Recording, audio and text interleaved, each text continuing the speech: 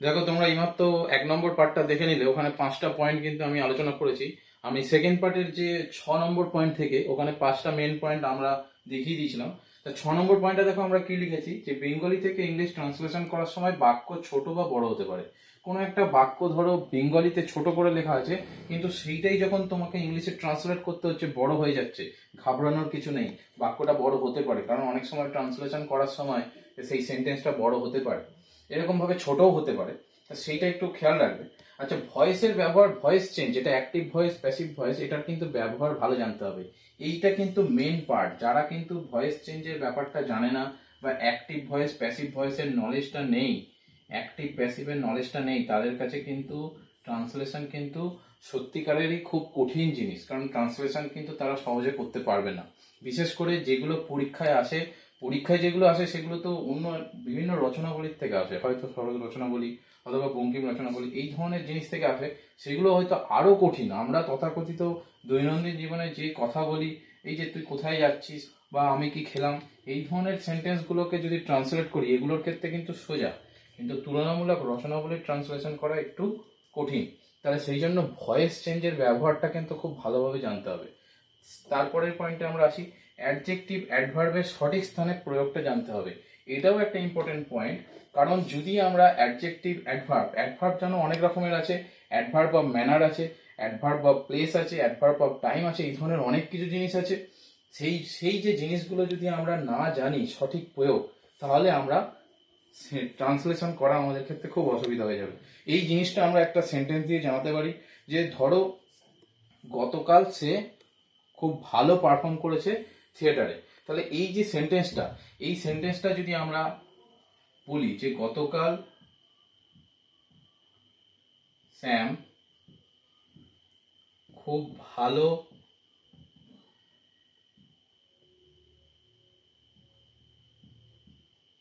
গান গেয়েছে,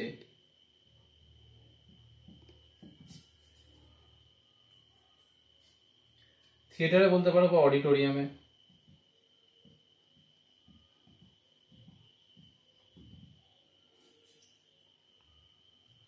এই জিনিসটা বাংলায় যদি করতে আসে, সেটা এইরকম হবে। গতকাল অডিটোরিয়ামে স্যাম খুব ভালো গান গেয়েছে। এই ধরনের সেন্টেন্সটা হতে পারে। তা এই সেন্টেন্সটার যদি আমরা ইংলিশ করতে যাই ট্রান্সলেশন করতে গেলে আমরা কি ধরনের সেন্টেন্সটা নেব? দেখো, এখানে আমি কিন্তু অ্যাকচুয়ালি এই অ্যাডভার্বের যে প্রপার প্লেস অফ তোমাকে বসাতে যে ইউজেস ইউজেসটা কেমন করতে হবে সেইটা দেখানোর জন্য কিন্তু এই ধরনের সেন্টেন্স একটা নিচ্ছি। এই সেন্টেন্সটা কি করব আমরা? হি perform Sam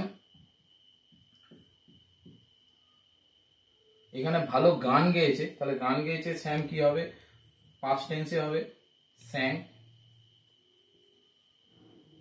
sung, sang very well খুব ভালো বলেছে। Very well in the auditorium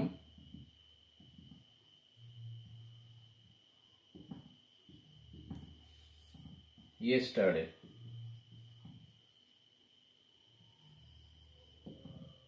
এইটা এরকম ভাবে লেখার কারণটা কি?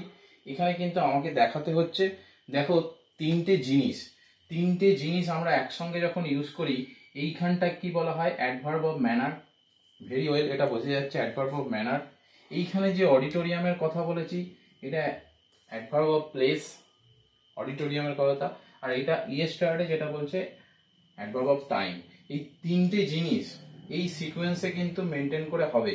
এটা কিন্তু কোনোভাবেই ব্রেক করা যায় না বা সিকোয়েন্সটা চেঞ্জ করা যাবে না। এইটা দেখানোর জন্যই বলছি, ধরো তুমি বললে স্যাম স্যাং ইয়েস্টারডে ইয়েস্টারডেকে আগে নিয়ে এলে তাহলেই কিন্তু এখানে নাম্বার কাটা হবে। এখানেই এই যে প্রপার ইউসেজ অফ অ্যাডভার্বের এই যে প্লেসগুলো এইগুলো কিন্তু জানতে হবে। আরেকটা যদি তোমাদের সেন্টেন্স নিই, যে সমীরণ এই মাসে অনেকবার দিল্লি গেছে। ধরো এই ধরনের একটা সেন্টেন্স নিলাম, সমীরণ এই মাসে অনেকবার দিল্লি গেছে। এটা প্রেজেন্ট পারফেক্ট টেন্সের কথা বলা হচ্ছে। তাহলে এইখানে কি হবে? যে এইখানে দেখো আমাদের যে ট্রান্সলেশনটা যখন আমরা করছি, যে সমীরণ হ্যাজ ভিজিটেড কোথায় গেছে? দিল্লি। দিল্লি সেভারাল টাইমস মানে বলছে অনেকবার। দিস মান্থ এই মাসে গেছে। তাহলে এইখানে এইখানে আমাদের দিল্লি যেটা আছে, এখানে হচ্ছে অ্যাডভার্ব অফ প্লেস যেটা আমাদের আগে ছিল এইখানে অডিটোরিয়ামে তারপরে কি হয়েছে? সেভারাল টাইমস এটা হচ্ছে ফ্রিকোয়েন্সি অ্যাডভার্ব অফ ফ্রিকোয়েন্সি কখন কখন গেছে? মানে অনেকবার গেছে। আর এইটা হচ্ছে দিস মান্থ এইটাকে কি বলছে? আগের যেমন ইয়েস্টারডে ছিল, এটা অ্যাডভার্ব অফ টাইম তাহলে বোঝা যাচ্ছে যে পিএফটি যদি এই ধরনের অ্যাডভার্বগুলো কিন্তু একটা সেন্টেন্সে থাকে, তাহলে কিন্তু তার ইউসেজটা কেমন হবে? এই রকম ধরনের হবে। এই ব্যাপারগুলো কিন্তু সঠিক বা প্রপার ইউসেজগুলো জানতে হবে, না হলে কিন্তু এখান থেকেই নাম্বার ডিডাকশন শুরু হয়ে যাবে। তাই জন্য ট্রান্সলেশন করা কিন্তু একদিনে আমি বলছি না তোমরা সবাই শিখে যাবে, আবার বলছি না যে তোমরা কিন্তু কোনোদিনই শিখতে পারবে না যদি এইগুলো না জানো। তার জন্য কি করতে হবে? প্রত্যেকটা জিনিস আগে স্ট্রং করো ভয়েস চেঞ্জটা যেমন তোমাদের জানতে হবে প্রপার ইউসেজ অফ ওয়ার্ড আগে, আগের আমরা ভিডিওতে অলরেডি বলে এলাম যে আর্টিকেল প্রিপোজিশন এইগুলোর ব্যবহার ভালো করে জানতে হবে। সেই রকম অ্যাডভার্ব অ্যাডজেক্টিভের সঠিক প্রয়োগটাও কিন্তু জানতে হবে। আচ্ছা আর একটা জিনিস যেটা মেনলি সেটা আমি পরের পয়েন্টে লিখে দিচ্ছি, এটা মুছে দিলাম। এবং সেইখানে আমি পয়েন্টটা লিখে দিচ্ছি। যে এখানে কিন্তু একটা জিনিস এটাই মনে রাখবে যে সবসময় বাংলা শব্দের ইংলিশ প্রয়োগ একই রকম হয় না। যে বাংলা শব্দের ইংলিশ প্রয়োগ মানে কি ব্যাপারটা বলছি? যে যে ধরনের ধরো একটা ইংলিশ যে বলল, সে অত্যন্ত খিটখিটে বা সে খুব খিটখিটে। এই ধরনের একটা বাংলা শব্দ তোমাকে বলল, বাংলা বাক্য, এখানে বলল খিটখিটে এবং এই খিটখিটের শব্দের তুমি মিনিংটা হয়তো ইংরেজিতে তুমি পরীক্ষার হলে মনে পড়ছে না বা সেইভাবে ভেবে উঠতে পারছ না। সেক্ষেত্রে তোমাদের মনে হতে পারে যে এখানে কি লিখব? সেখানে অ্যাকচুয়ালি কিন্তু কি হবে? He is very peevish he is very peevish এই পিভিস কথাটার অর্থ অ্যাকচুয়ালি অর্থ কিন্তু খিটখিটে। এবং এটা কিন্তু অ্যাকচুয়ালি এইরকম জায়গাতেই লাগানো যায়। এবার এখান থেকে তোমরা অনেক সময় বলতে পারো হ্যাঁ ইরিটেবল হয়। হ্যাঁ ইরিটেবল হতে পারে। কিন্তু তার থেকেও এটা সঠিক প্রয়োগ। সেই জন্যই বলছি যে এই ধরনের ইংলিশ প্রয়োগ অনেকগুলো তো হয়। বাংলা শব্দের ইংলিশের ইংলিশের মানে অনেকগুলো বাংলা শব্দই হতে পারে এবং সেই ধরনের যে প্রয়োগগুলো প্রয়োগগুলো কিন্তু জানতে হবে। যেমন ধরো সে রাস্তার এদিক ওদিক পাইচারি করছিল। এই কথাটা যদি বলি, সে রাস্তার এদিক ওদিক পাইচারি করছিল।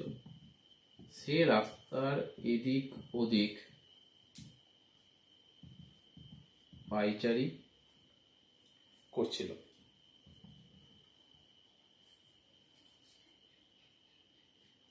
এই ক্ষেত্রে কি হবে? এখানে এদিক ওদিক মানে আমরা জেনারেলি যে প্রপার ইউসেজটা আমরা যেটা করি, সেটা হিয়ার অ্যান্ড দেয়ার আমরা করি। কিন্তু অ্যাকচুয়ালি এখানে কি হবে? এদিক ওদিক পাইচারি করছিল মানে এটা পাস্ট টেন্সের কথা বলছে। He was pacing up pacing up and down the street এই ধরনের কিন্তু ট্রান্সলেশনগুলো করতে হবে। পেসিং আপ অ্যান্ড ডাউন মানে মুভ ফরওয়ার্ড, ব্যাকওয়ার্ড। এটাকে বলা হচ্ছে। কোনো একটা জায়গায় সামনে যাচ্ছে, পেছনে যাচ্ছে মানে রাস্তার এদিক ওদিক পাইচারি করা। এই জিনিসটা আমি বলতাম।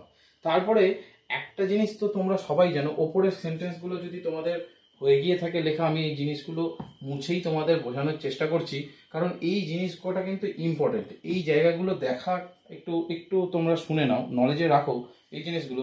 যে আমি জানতাম না যে রাহুল পরীক্ষায় ফেল করেছে। আমি জানতাম না যে রাহুল পরীক্ষায় ফেল করেছে। এই ধরনের যদি সেন্টেন্স দেয়, এখানে দুটো ওয়ার্ড আছে তোমরা জানো যে পাস্ট পারফেক্ট এখানে জানতাম না আবার রাহুল পরীক্ষায় ফেল করেছে ফেলটা তো সে আগে করেছে। তাহলে সেক্ষেত্রে কি হবে? এই ধরনের সেন্টেন্স তোমরা আগে কিন্তু ট্রান্সলেশন যখন শিখেছো বা তার আগে, যখন ইংলিশ টু বেঙ্গলি করতে বা বেঙ্গলি টু ইংলিশ করতে যে ডাক্তার আসিবার পূর্বে রোগী মারা গেল, আমি স্টেশনে যাইবার পূর্বে ট্রেন ছাড়িয়া গেল, এই ধরনের সেন্টেন্স কিন্তু অনেক প্রয়োগ করেছ। এই ধরনেরই একটা সেন্টেন্স যে আমি জানতাম না যে রাহুল পরীক্ষায় ফেল করেছে, যে I was not aware I was not aware that Rahul had failed in the examination Rahul had failed in the examination এইখানে, যেমন হচ্ছে এই সেন্টেন্সটা এইখানে আমি জানতাম না, এর আগে তো রাহুল ফেল করেছে। তাহলে সেইখানে যে প্রপার ইউসেজ এইখানেই এটা বলছি যে বাংলা শব্দের ইংলিশ প্রয়োগ কিন্তু একই রকম হচ্ছে না। তোমরা দেখছ, এখানে জানতাম না, আবার রাহুল পরীক্ষায় ফেল করেছে। তোমাদের দেখে মনে হচ্ছে দুটোই তো হচ্ছে পাস্ট টেন্সের কথা বলছে, আমরা লাগিয়ে দিই। না, এই জিনিসগুলো একটু জানতে হবে। যেমন ধরো, আমরা সর্বদা বলে থাকি দুটো ইংলিশের সঠিক প্রয়োগটা তোমরা একটু দেখে নাও। এইটা খুব ইম্পর্টেন্ট যে আমরা সর্বদা বলি যে, আমি চুল কাটতে গেছিলাম। তোমরা যখন চুল কাটতে যাও, ছেলেদের কথা বলছি, মহিলারাও বলে পার্লারে গেছিলাম চুল কাটতে। কিন্তু চুল কাটতে কি আমরা বলি? অ্যাকচুয়ালি আমরা কি বলি? অ্যাকচুয়ালি আমরা বলি যে, আমরা চুল কাটতে গেছি। কিন্তু অ্যাকচুয়ালি কথাটা হচ্ছে, আমরা চুল কাটাতে গেছি। তাহলে সে যদি চুল কাটাতে যায় মানে সে চুল কাটছে বা সে চুল কাটাচ্ছে, তাহলে কি হবে? He has his hair cut এটা হবে না যে he has cut his hair এটা হবে না, কারণ এটা হলে পরে তো সে তার নিজের চুল কাটছে। সে তো কাটছে না, নাপিত তো কাটছে। তাহলে he has his hair cut এইটা হবে আবার ধরো, তুমি তোমার কারোর নিকটাত্মীয়ের হচ্ছে তুমি বিয়ে দিচ্ছ, যেমন ধরো তুমি তোমার সিস্টারের বিয়ে দিচ্ছ, তাহলে সিস্টারের বিয়ে দেওয়ার ক্ষেত্রে তাহলে তুমি কি বলবে? হি ম্যারেড হিজ সিস্টার এটা কিন্তু হবে না। যে সে তার সিস্টারের বিয়ে দিয়েছে হি সাপোজ সে তার সিস্টারের বিয়ে দিয়েছে he has his sister married he has his sister married এই ধরনের কিন্তু সেন্টেন্সটা হবে। যেমন যদি তোমাকে বলে যে তিনি দাড়ি রাখেন, তিনি দাড়ি রাখেন। দাড়ি মানে বিয়ার্ডের কথা বলছে। হি কিপস হিজ বিয়ার্ড এরকম কি হয় সেন্টেন্সে না he wears a beard he wears a beard তিনি দাড়ি রাখেনের এই ধরনের ট্রান্সলেশন হয়। আরেকটা সেন্টেন্স দেখে রাখো, এই সেন্টেন্সটার কিন্তু বঙ্গানুবাদ করতে গেলে কি করতে হবে? যে সে তাকে আস্তে আস্তে জানছে। সে তাকে আস্তে আস্তে জানছে। এই ধরনের যদি সেন্টেন্সের যদি আমরা করতে যাই, যে সে তাকে আস্তে আস্তে জানছে কি হবে, তাহলে গ্র্যাজুয়ালি গ্র্যাজুয়ালি ব্যাপারটা হচ্ছে তো, কিন্তু আস্তে আস্তে জানছে। এখানে একটা কথা জানো, আমরা স্ট্যাটিক ভার্বের একটা ব্যাপার শুনেছিলাম, যেখানে বলা হয় যে সি হিয়ার নো এই ধরনের যে ভার্বগুলো এই ভার্বগুলোকে কিন্তু স্ট্যাটিক ভার্ব বলে। স্ট্যাটিক ভার্বের কিন্তু কোনোদিন স্ট্যাটিক ভার্বের কি হয় না? কন্টিনিউয়াস ফর্মটা কিন্তু হয় না। তাহলে সেক্ষেত্রে কি হবে? এই যে এখানে আস্তে আস্তে জানছে, তাহলে হি আস্তে আস্তে জানছে হি ইজ নোয়িং তো নিশ্চয়ই হবে না। কারণ নোয়ে নো হচ্ছে এখানে স্ট্যাটিক ভার্ব নো এর কন্টিনিউয়াস ফর্মটা হয় না। তাহলে সেক্ষেত্রে আমাকে কি করতে হবে? He has started he has started to know he has started to know him gradually এই ধরনের আমরা প্রয়োগগুলোর কথা বলছি। এই জিনিসগুলো যদি একটু জানা থাকে, এর জন্য কি করতে হবে? মোর অ্যান্ড মোর প্র্যাকটিস করতে হবে। আমরা কি করব? এর পরবর্তীকালে আস্তে আস্তে প্রত্যেকটা জায়গায় আমরা কি করব? যে ইংলিশ যে ধরনের টপিকগুলো নিয়ে অলরেডি আলোচনা করেছি, যে আমাদের প্রেসি হয়ে গেছে, আমাদের রিপোর্ট হয়ে গেছে, আজকে ট্রান্সলেশন হয়ে গেল। আমরা প্রত্যেক দিনই করব কি, একটা করে প্রেসি তোমাদের সামনে আনব এবং তার সঠিক উত্তরটা কিন্তু একবার করে দেখিয়ে দেবো। তাহলে কি হবে, তোমাদের একই সঙ্গে প্র্যাকটিসটাও হয়ে গেল এবং সঠিক উত্তরটাও তোমাদের সামনে দেখা হয়ে গেল।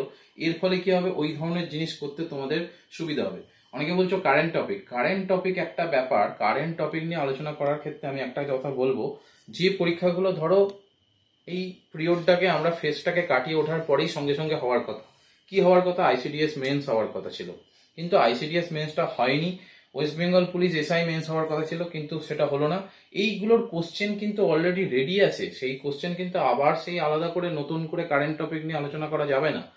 কি হবে? পিএসসি মিসলেনিয়াস পিএসসি মিসলেনিয়াসের অলরেডি কিন্তু পিলির কিন্তু রেজাল্ট বেরোয়নি। সেই জন্য পিলি রেজাল্ট আউটের পরে, তারপরে সেই কোশ্চেন নিয়ে চিন্তা ভাবনা হতে পারে। তার আগে কোশ্চেন হয়তো করা হবে এবং সেই জন্য আমরা পিএসসি মিসলেনিয়াস অথবা ডাব্লিউবিসিএস মেন্সের জন্য কারেন্ট টপিক নিয়ে আলোচনা করাটা যুক্তিসঙ্গত। কিন্তু এসআই মেন্স আর আইসিডিএস মেন্সের ক্ষেত্রে কিন্তু, সেক্ষেত্রে কিন্তু কোনো দরকার নেই। অতএব রেলিভেন্ট যে টপিকগুলো আছে, সেইগুলো একটা তৈরি করে যাও। আমার মতে সেইখান থেকে কিন্তু একটা কোশ্চেন পেয়ে যাবে। রেলিভেন্ট টপিক যেগুলো নর্মালি আসে, সেইগুলোর ধরনেই আমরা করানোর চেষ্টা করব। এবং প্রত্যেক দিনই প্রত্যেক দিন না হলেও কিছুটা গ্যাপে গ্যাপে কিন্তু তোমরা পাবে। যেমন তোমরা ডেসক্রিপটিভ ম্যাথামেটিক্স এর পাচ্ছ, যেমন তোমরা ডেসক্রিপটিভ আইসিডিএস এর ক্ষেত্রে জিকের পাচ্ছ, অন্যান্য কারেন্ট অ্যাফেয়ার্সগুলো পাচ্ছ। তো প্রয়াসের সঙ্গে থাকো। আমরা বলব ভিডিওটা ভালো লেগে থাকলে লাইক করো। যারা প্রিভিয়াস ট্রান্সলেশনের ভিডিওটা দেখোনি, সেইটা ভিডিওটা দেখে তবে কিন্তু দু নম্বরটা দেখো, নাহলে কিন্তু লিঙ্কটা খুঁজে পাবে না। Okay thank you